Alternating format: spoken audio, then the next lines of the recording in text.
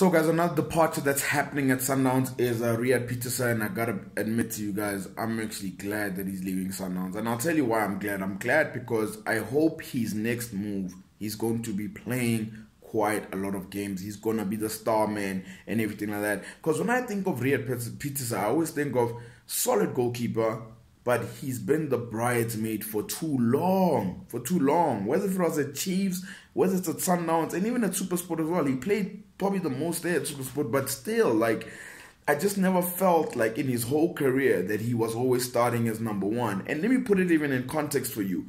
I saw on Transfermarkt, so I went to Transfermarkt right just now. And Reyaad Pieterse, according to Transfermarkt, has played only about 77 or 70 something games in all competitions since 2012 in all competitions. Now, let me put that in context. He's 28 years old. Ronwen Williams is 28 years old as well. And he's played over 200 games in the league alone. Never mind all competitions, in the league alone. So, Reyaad Peterson needs to play again. At least he's 28, and at least as a goalkeeper, you can play till you like 40 if you'd like. But the next club, it's you got to be valued. You got to be starting because when I think of him, I think solid. But man, he's been second choice for too long.